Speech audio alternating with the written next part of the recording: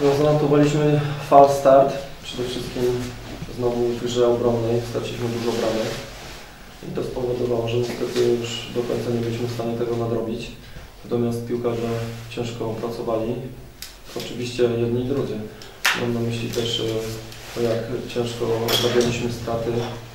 E, Należy się za to słowa uznania dla moich zawodników, ale przede wszystkim gratuluję rywalom dużej skuteczności, trzech bramek i oczywiście gratuluję im też gry, bo Gwardia tak jak i na jesień, tak i teraz jest zespołem silnym, jest zespołem dobrze zorganizowanym i jest zespołem skutecznym. Pamiętam, że do tej 20 minuty, do momentu straty bramki widać było, że to wasza drużyna prowadzi grę. No, w momencie straty bramki tak zupełnie gdzieś tam te skrzydła zostały podcięte. Yy, Trochę się zmienił, myślę, też sposób grania i przyspieszyła Gwardia. Nie można przez cały mecz być dominującym zespołem, trzeba, yy, rytm meczu się zmienia. Rzeczywiście, gdybyśmy mm, bramkę zdobyli do 20 minuty, to pewnie ten mecz inaczej by wyglądał, w związku z tym, że to yy, gospodarze pierwsi strzelili, to oni dostali wiatr w, za, w, za, w żagle, a u nas trochę chaosu się prowadziło. Że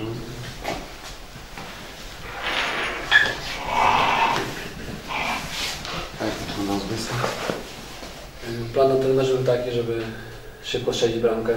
Przez te 20 minut praktycznie dążyliśmy do tego, żeby to zrobić. Na wiele nie pozwoliliśmy drużynie Gwardii. Bramka dość przypadkowa ze stałego fragmentu. Ustawiła trochę przebieg pierwszej połowy. Wkazał się trochę nerwowości, czego konsekwencją była druga bramka. No i myślę, że właśnie ten okres czasu pomiędzy 20 minutą a pierwszą, pierwszej połowie, pierwszą połowy no, był takim e, chaosem, no i Gwardia trochę przycisnęła, także mecz się trochę wyrównał. No, w drugiej połowie to już praktycznie nasza pełna dominacja, na- nastawił się na, na kontrę, co nie dziwi, bo przy prowadzeniu 2-0 nic nie musiał, my musieliśmy gonić. No szkoda, szkoda tych straconych bramek, bo to trochę na własne życzenie i później było ciężko gonić. No, walczyliśmy do końca, nie, brakło trochę czasu i gratuluję Gwardii zwycięstwa, my walczymy dalej, mamy jeszcze 16 kolejek.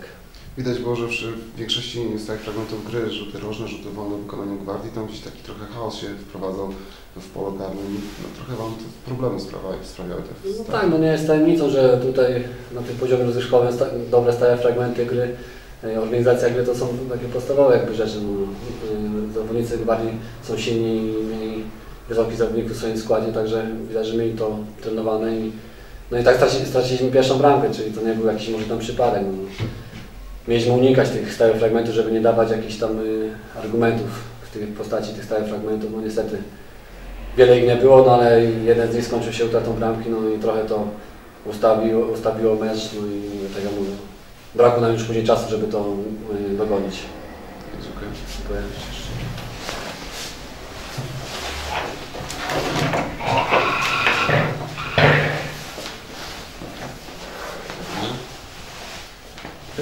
Tutaj jak słusznie trener zauważył, mecz miał chyba 3, a może 4 oblicza. Początek zdecydowanie dla Elany. Udało nam się przetrzymać te ataki.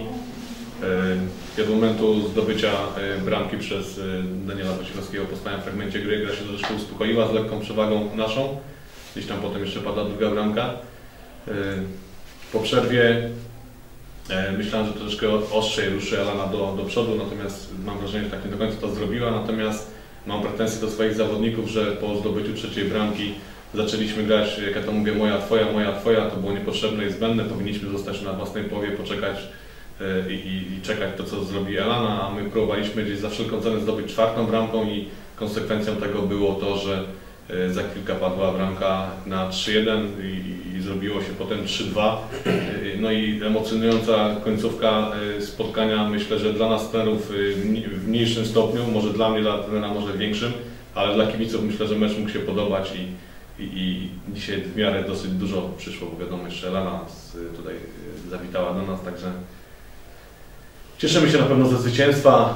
E, Ciągle twierdzę, że Elana jest moim zdaniem głównym kandydatem do awansu i, tutaj to zwycięstwo dla nas to jest bardzo ważne, liczy się podwójnie.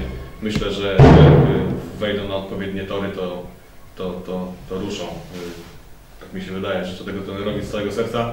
My oczywiście też będziemy walczyli i, grali do końca, y, natomiast nasze cele są jakby tygodniowe. Teraz był, był, a była, była akcja Elana, za, za tydzień mamy akcję Polonia Środa Wielkopolska. Także zobaczymy, no, y, tak graliśmy na jesień i dzięki temu gdzieś tam znaleźliśmy się na miejscu y, drugim. Myślę, że podobnie chcielibyśmy, żeby było podobnie w tym roku, tak? A co z tego wyniknie, to Panie trenerze, niezbyt ryzykownie, znaczy czy niezbyt ryzykownie tak długo przytrzymywać Maćka Stańczyka na boisku z kontuzją? Y, No, zdarzyła się w tygodniu bardzo nieprzyjemna rzecz dla nas, tak? I chciałem na koniec podsumowania okresu przygotowawczego powiedzieć, że dotrwaliśmy w pełnym składzie do końca, ale jak to bywa w sporcie, y, trafiła, przytrafiła się kontuzja y, drugiego stopera, właściwie trzeciego stopera, tak? Mateusza Banego. Naderwane więzadło poboczne. W związku z tym no, nie mamy, nie mamy w tej chwili stopera takiego typowego, jakim jest Mateusz Bany. No i tak wiadomo, no, próbowałem tam jeszcze urwać minuty, tak, więc zdaję sobie sprawę, że jest to niebezpieczne i za chwileczkę mogę nie mieć następnego stopera, tak?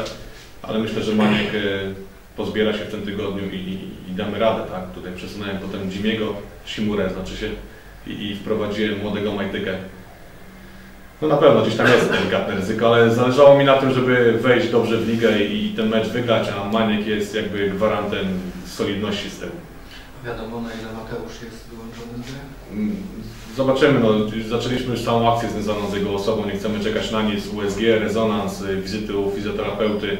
Mm, Myślę, że na dniach się to wyjaśni, jak to długo będzie trwało, tak? Szkoda mi go bardzo, bo przepracował bardzo solidnie okres przygotowawczy. Y, Bardzo na niego liczyliśmy, ale no, no niestety, no dzisiaj by się przydał idealnie, tak? A, a niestety go nie było z nami.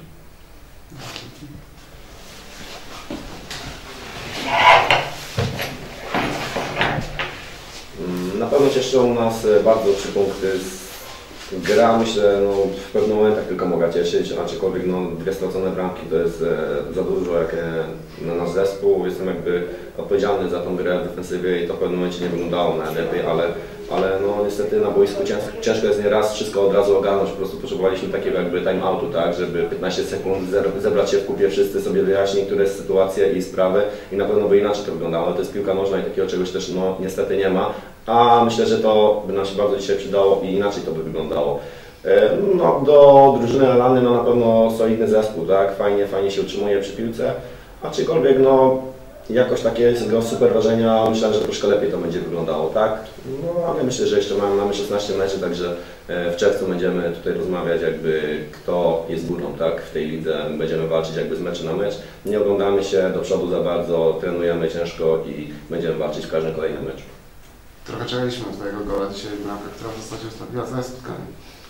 No bardzo się cieszę z tej bramki, bo ostatnią strzeliłem no zeszłej rundzie, tak, ale troszkę mało, chciałbym więcej tych bramek strzelać, no ale, ale myślę, że troszkę cierpliwości, troszkę jeszcze lepszej pracy i te bramki same będą wpadały.